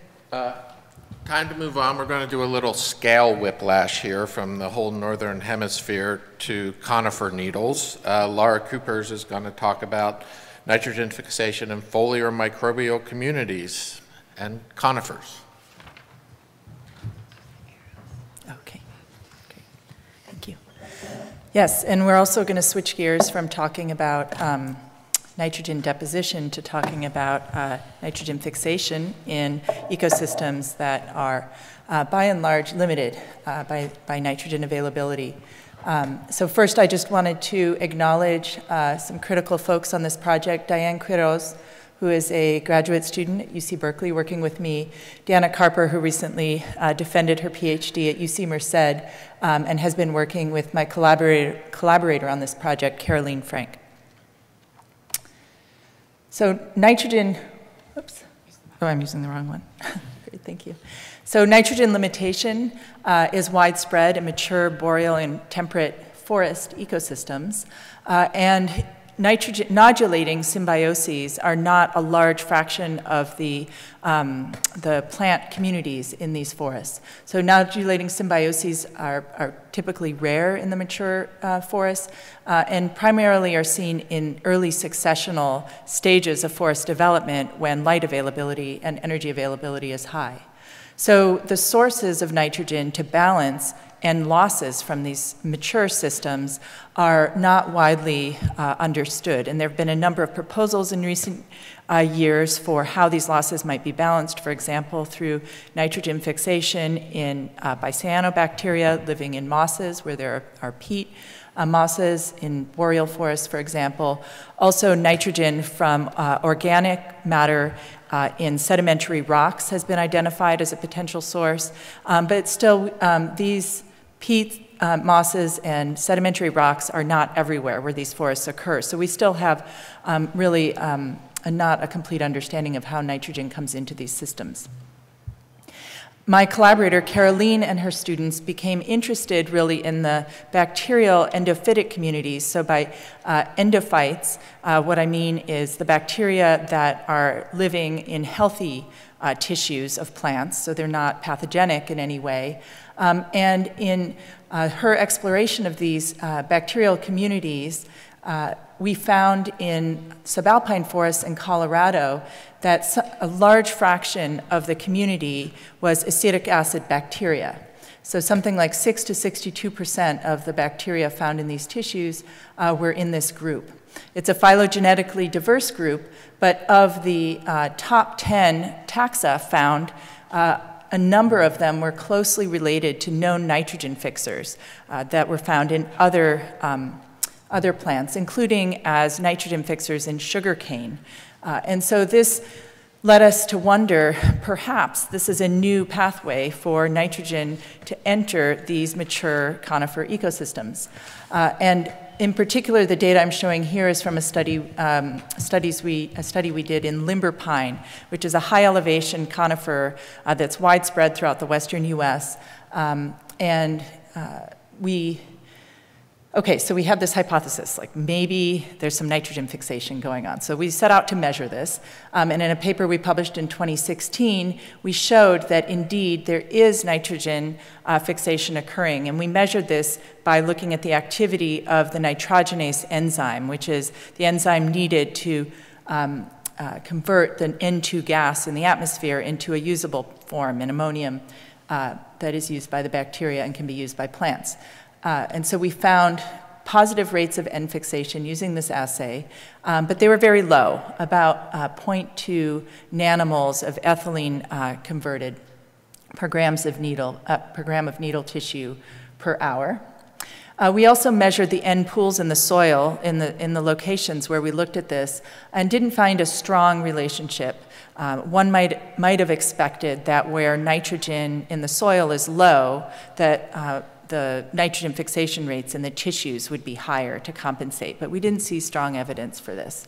Uh, but we hadn't set out to answer that question, so um, in this study, uh, what we wanted to do was ask, is this potential for foliar endophytic nitrogen fixation widespread, or is it something that's just particular to limber pine in Colorado? Um, and we were interested also in understanding whether these rates might differ between the host tree species. Uh, we were interested to know whether the bacterial communities in the foliage of other pines were similar to those in Colorado.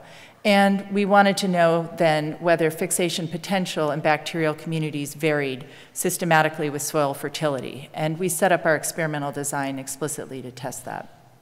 So the study site that we used is um, this ecological staircase in, in coastal California, where the uh, soil age varies uh, quite significantly, and along with it, the fertility of the soils. So the oldest um, wave cut terrace in the upper uh, part of the staircase has very low uh, fertility, whereas the lowest and youngest soils uh, have um, higher fertility. So there are two species that grow along this gradient, uh, bishop pine, Pinus muricata, and um, two variants of uh, Pinus contorta, which are known as Bolander pine and shore pine. So they both occur um, along this age gradient. So we could look at the species contrasts as well. So just some data from um, prior studies that looked at soil fertility in particular that show uh, total soil nitrogen decreasing uh, with soil age. So the youngest terrace is terrace 1, the oldest here is terrace 5, and you can see uh, a reduction by about half in total soil nitrogen and in total organic phosphorus in the soils. Uh, foliar phosphorus also declines with terrace age, but foliar nitrogen does not. So this was, you know, we were thinking maybe an indicator that uh, some other mechanisms for nitrogen coming into the system might be important. So again, we use this uh, acetylene reduction assay to test for nitrogenase activity, um, where we add um, a 10% acetylene to samples of uh, foliage that we've taken from the field. So we pulled twig samples from three of these terraces along the full age gradient and from both tree species at actually more than two time points. We did three time points. Uh, and then we surf surface sterilized the samples to be able to just look at what the endophytic um, bacteria might be doing. Then we also had uh, sequenced the, we also sequenced the DNA, uh, the 16S gene from uh, paired samples that we took.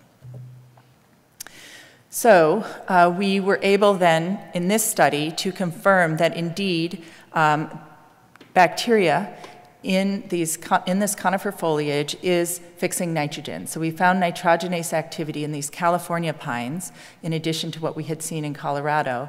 And the rates that we found were about one nanomole of ethylene per gram of needle tissue per hour, which is about five times the rate we saw in Colorado. We saw evidence for differences between the host species. So we saw higher rates of fixation in the bishop pine as compared to the Pinus contorta along this age gradient. Um, but we didn't see any um, clear differences among terrace ages or no clear differences in fixation rates with soil fertility, counter to our expectation. The endophyte communities along this staircase, however, were very similar to what were, were, were very similar, similar to what we saw in Colorado. So this acetic acid bacterial group, um, which is shown in the, um, the light green here, is, the, again, the dominant um, bacterial group that was found in these samples. About 38 to 68% of the sequences were from this group. We also found um, other groups um, that were uh, in the acido, beta proteo, and gamma proteobacteria. And some of these taxa have um, members within them, for example, um, I'm not going to try and pronounce the name of this group, the, the Colobacteriaceae um, and the Burkholder, um, Burkholder, Burkholder, okay, I'm not going to try and pronounce that one either, um, which are in these sort of teal colors, uh, have, have taxa within them that can also fix nitrogen. So we don't know exactly which bacterial taxa are, are doing the nitrogen fixation, um, but we've been sort of focused on these Acetobacteriaceae because they are the, the most dominant ones in, in, the, in the foliage. Um, but just to put a little bit of finer point on it, many of the top 100 variants that we found in these sequences are between 97 and 100% similar to the Colorado taxa. So there's a lot of consistency in the bacterial communities across these sites. Um, this is just an ordination showing the bacterial communities as a whole. Um, unlike with the nitrogen fixation, we did see strong evidence for um, the, the, bacterial communities to differ among the terraces. So there's some influence of the soil fertility on the bacterial communities, but not on the nitrogen fixation rates. Um, the host species also um, helped structure the bacterial communities that we saw, and we saw some differences between uh, sampling dates. So in addition to using this acetylene reduction assay, we wanted to use um, a direct measure of nitrogen fixation um, by incubating um, samples with 15N. But we have this challenge that, uh, first of all, these are living tissues, so just putting um, sort of a, a, clump, like you can put a clump of soil or other organic matter into a closed vial. Here we have a challenge of needing to keep these plant tissues alive and happy um, over an extended period of time to accumulate enough 15N to be able to detect that 15N in samples. So basically, we had to use a, um, a chamber uh, for a period of about 20 days where we kept seedlings that were rooted in, um, in sterile soil um, alive and happy uh, for this extended period of time. So this is a picture of Diane and this glove box uh, that we um, used for this purpose. And we incubated these um, seedlings that we'd taken from the field uh, with 15N2, about uh, 11 atom percent 15N2 at the start of the experiment, but due to leaks, it, it, got down to about 2 by the end. In any case, and then we measured the 15N uh, using isotope ratio mass spectrometry. So um, consistent with the nitrogenase um, assay, we found that 15N did accumulate in the seedling foliage over time. Uh, you can see here this is the, the, start of the experiment, and then this is at the end of the experiment. Uh, we didn't see any clear difference between host species in this in this study. Um, but when we uh, deconstructed the experiment at the end, we found that uh, while there was 15N accumulating in the, in the foliage, there was uh, even more 15N accumulating in the roots. Um, and so we don't know whether the roots were strong um, sinks for the fixed nitrogen or if there was fixation happening in association with the roots. Um, and it's likely that there was rhizosphere fixation um, contributing here. Oh, and I should say that we estimate um, about 0.04 milligrams of nitrogen was on average accumulated in the tissues, and this corresponds to about seven micrograms of nitrogen fixed over the period of, of the incubation, about 20 days. Um, another thing that we discovered here was that uh, the new needles were accumulating more of this label than older needles. Uh, the trees retained their needles for a couple of years. Um, and so again, we don't know if there were more bacteria in these new needles or if these were um, active sites of growth and therefore uh, accumulating um, nitrogen fixed elsewhere in the plant. So just to conclude, uh, we did find that uh, nitrogen fixation could be a more widespread new pathway for N inputs into mature conifer forests. Um, that this is occurring in the foliage, but again, also that root and rhizosphere N fixation is potentially important. Rates in California, we found, um, were about five times the rates in, in Colorado. Um, and there is some evidence for host species differences, uh, but we didn't find support for this fertility, any fertility effect, soil fertility effect. And then again, that the endophytic communities are dominated by the same microbes in both California and in Colorado, um, and that this appears to be affected by the site fertility as well as the host species. So thank you. I think we can pull off a quick question. I'll ask one. Okay. So it seemed like the nitrogen use efficiency of endophytic fixation would be really high. So um, any thoughts on like what its real contribution is to the nitrogen balance of the forests? So we um, tried to do that calculation for the limber pine study, um, and what we determined was that it was potentially, you know, small on an annual basis, but potentially important over a longer period of time. We haven't tried to do that for this California site yet, but it's on our list. Okay, yeah, because limber pines can live thousand years. Exactly. So, yeah. yeah. Okay, Thank thanks. Okay, our final talk of uh, stage one nitrogen saturation here is uh, by Benton Taylor. This is an invited talk, and we're going to go down to the tropics here and another nitrogen fixation talk.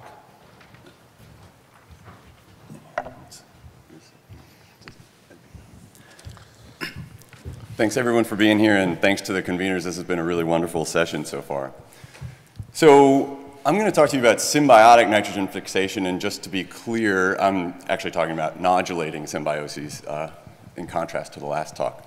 Uh, and I'm going to present some evidence that I think, as a field, it's really time for us to look beyond soil nitrogen as the primary regulator of N fixation in terrestrial ecosystems. So given the focus of this session,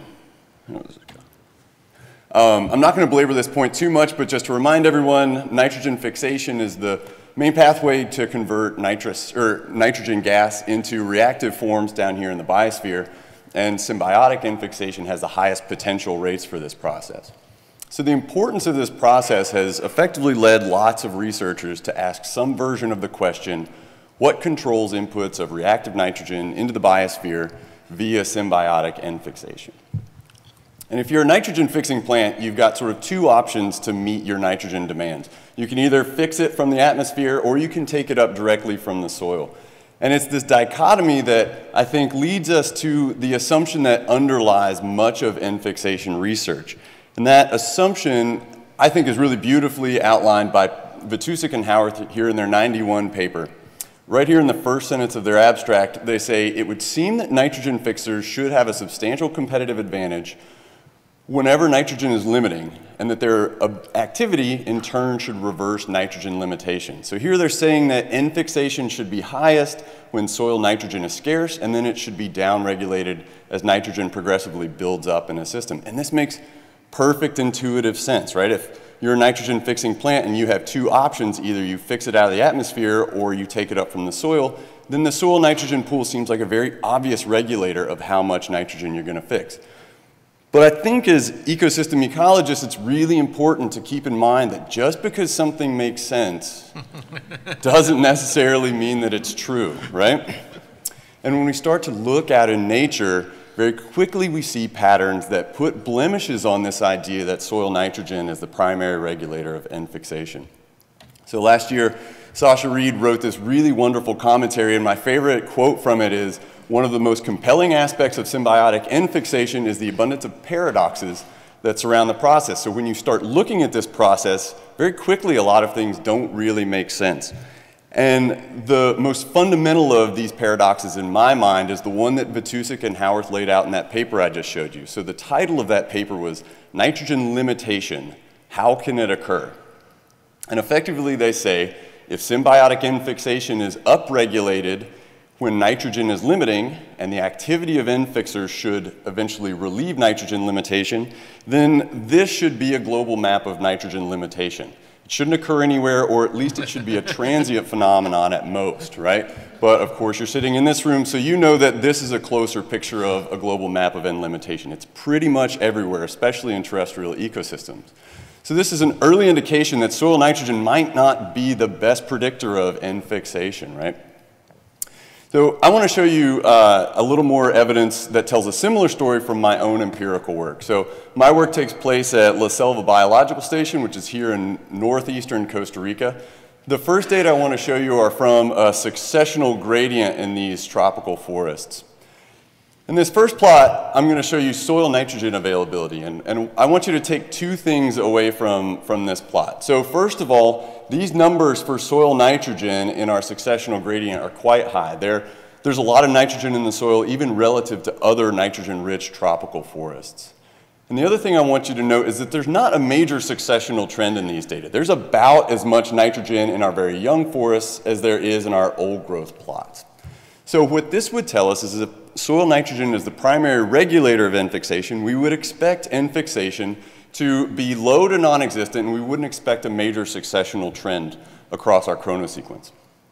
But when we look at the data, actually N fixation rates are fairly high in many of our plots, and we do see this progressive downregulation of N fixation through succession. So this is some early indication that soil nitrogen might, might not be doing a great job of predicting N fixation rates. I think a better way to look at these data, though, is to, to sort of compare these two y-axes to each other. And that's what I've done here. I've got soil nitrogen on the x-axis and N fixation on the y-axis. And if soil nitrogen is the primary regulator here, we're going to expect a negative relationship across this plot. When we actually look at the data, though, it's a different story. There are only five points here, so this isn't statistically significant, but it's a positive trend. It's certainly not a negative relationship, right? Now, underlying these data are lots and lots of different soil cores, and we actually took measurements of symbiotic N fixation and soil nitrogen within each one of these soil cores. So we can look at this at a smaller spatial scale where we have higher replication. And so we've got the same axes here, N availability and uh, N fixation. Again, we would expect a negative relationship, but when we look at it, it's a very messy but positive trend, right? So this isn't working the way we think it should, at least at the plot scale. We also, we also wanted to look at this at sort of an individual plant scale.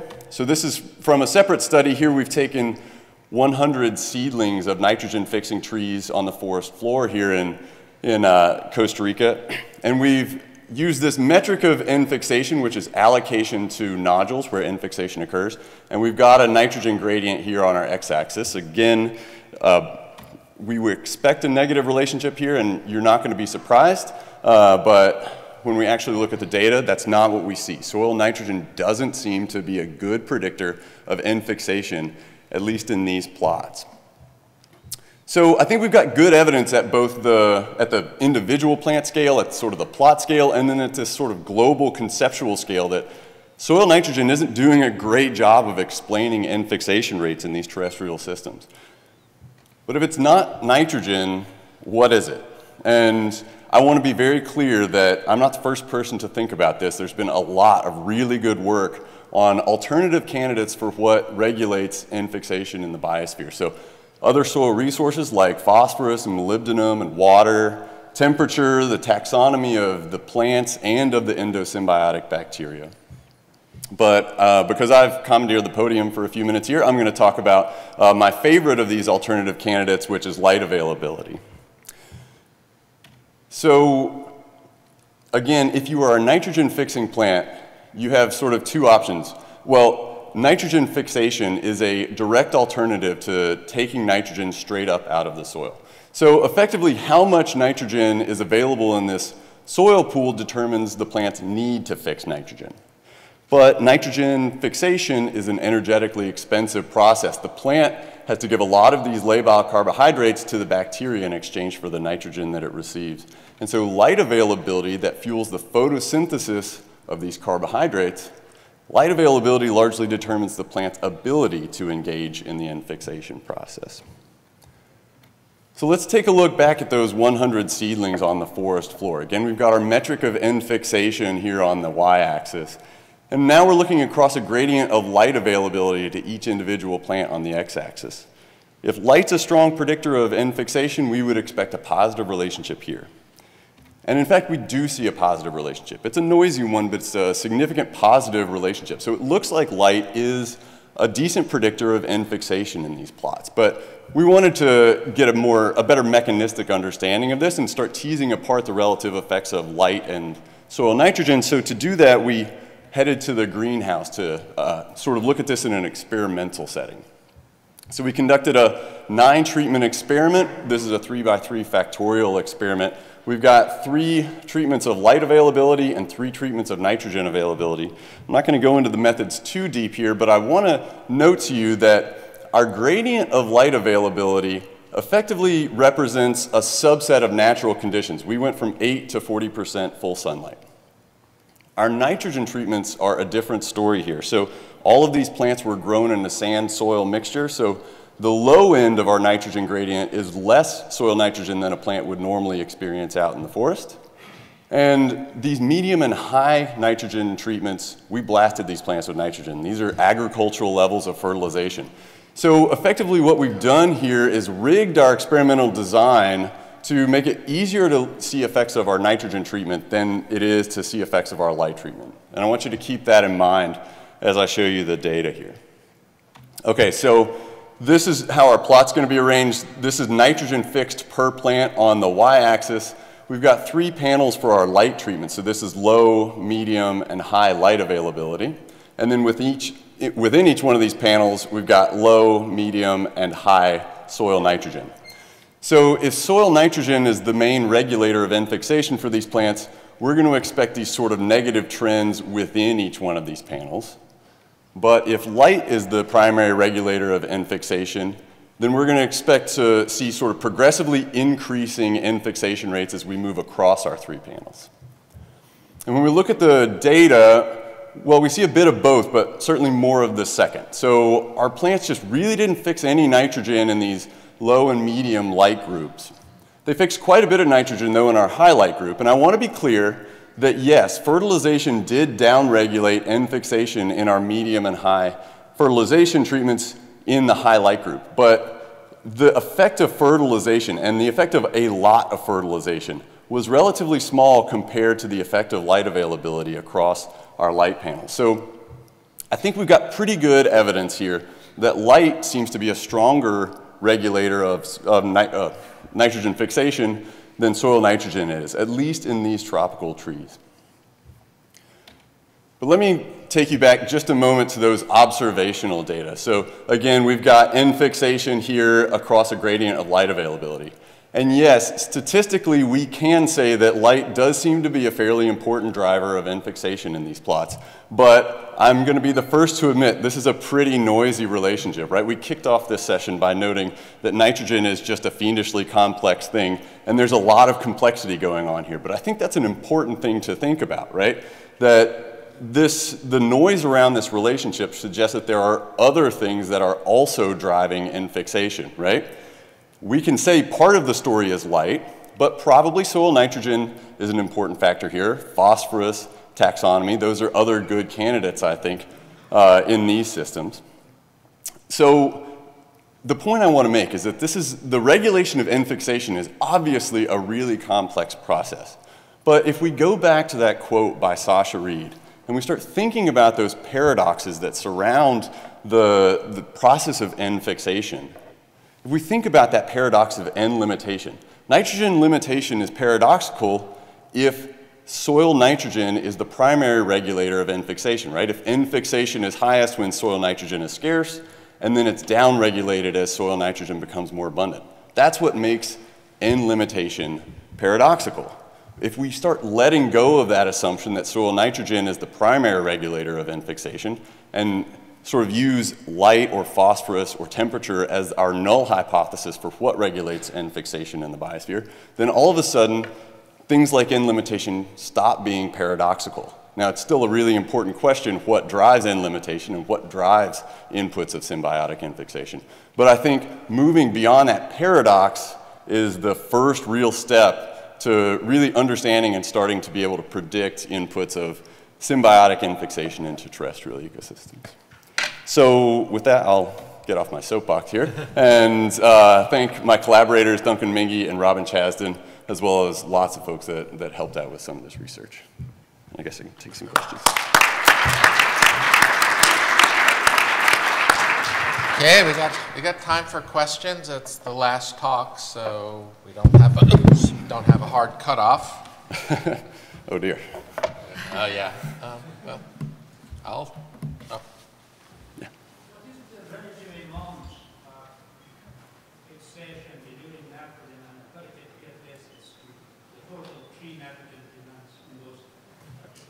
Sorry, I didn't hear, catch the first part. Amount of nitrogen relative to the total tree nitrogen use.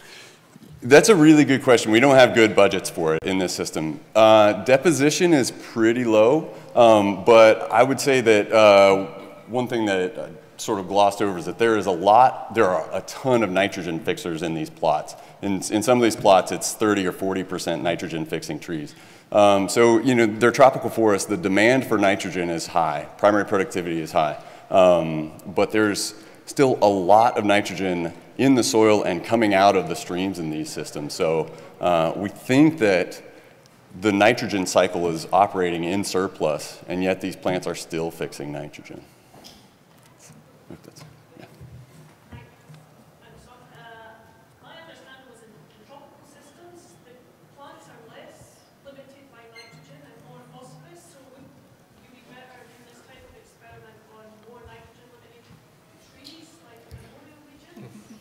I. Mm,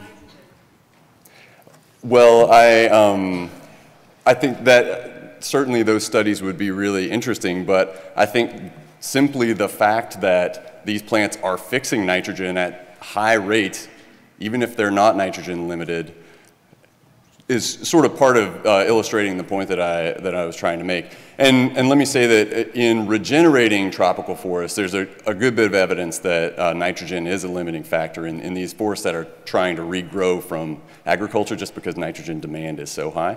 Um, but, but absolutely. And uh, one of the other big paradoxes that I think a lot about is why nitrogen fixation isn't much more abundant in those boreal forests that are classically nitrogen limited. Um, and I, I think soil nitrogen just isn't the right explanatory variable there, personally. Continuing that discussion, you know, they, they, most of these boreal species, they made associations with ectomycorrhizal, so that's the big innovation that occurred in those boreal species, and they're kind of doing the same thing, but